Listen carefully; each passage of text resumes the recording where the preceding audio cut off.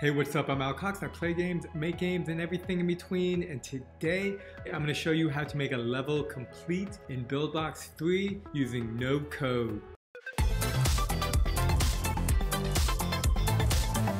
If you like mobile games, be sure to like and subscribe because I'm all about mobile games. Every day in BuildBox, I give myself little goals, things that are not too difficult, cause too much frustration, but enough to build the foundations of a complete, fun, simple game in 3D. I opened up Damn, I fucking catch that bug. Okay.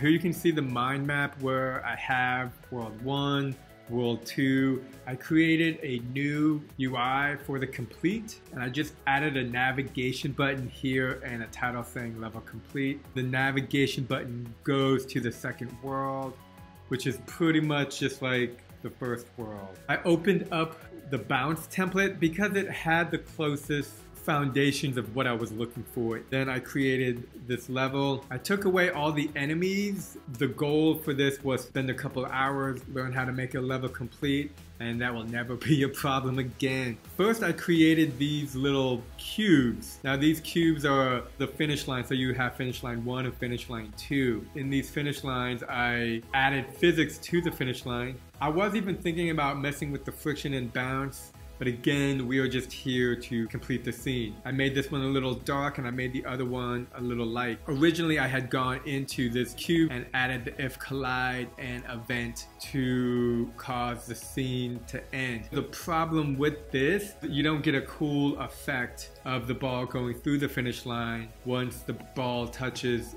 the object causes the event observer to happen, then the UI pops up. I copied this and created a new object. I went in here, grabbed the if collide, and then I grabbed the event observer and then you drag it at the very start. This applies to this specific object and nothing else. Here I changed the affected asset to the character. I could have also gone into the character and added the same thing. However, because the character already has a lot going on, here you can see I removed the bounce. I didn't want to add more to it. And so that is kind of the cool thing about the node system. It's all connected and at the same time separate in different areas. Here I attach it and then the event has the menu jump. With this menu jump, you're able to link out from this event, which is right here, to the complete. And then from the complete, this navigation button links out to the world. And again, the world is set up very similar and jumps you into the world. So let's go ahead, test it out. Now, things seem to be moving slow. I suspect that's because I'm recording. And look at that and it didn't work. Let's see what I forgot. Okay, collision shape cube. Okay, now I'm gonna take a look at this because this was set up and connect it. What it will do is once I hit the finish line, and this again is not what I want, but it was working properly, so maybe we can see it work here. Here we see the level connect and I click and now I'm on level two. Now the question is, is what is the difference between this and the Invisalign affected asset if collide collision character cube. Um, I'm gonna change this to level complete. Oops.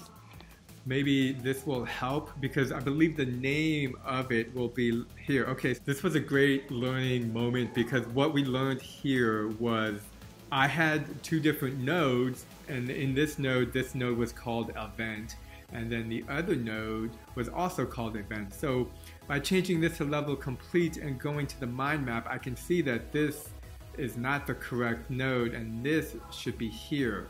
This current event node is a previous test I had done. So now we can just, oh, want to save it, always save, save, save, save.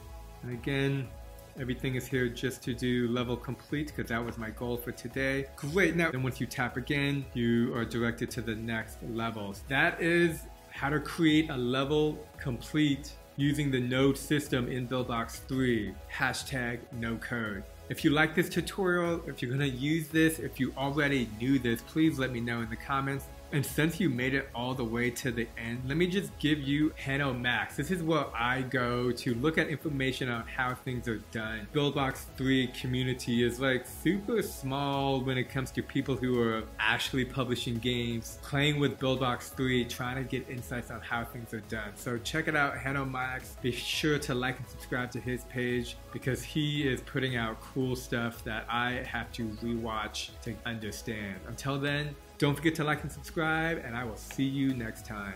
Peace.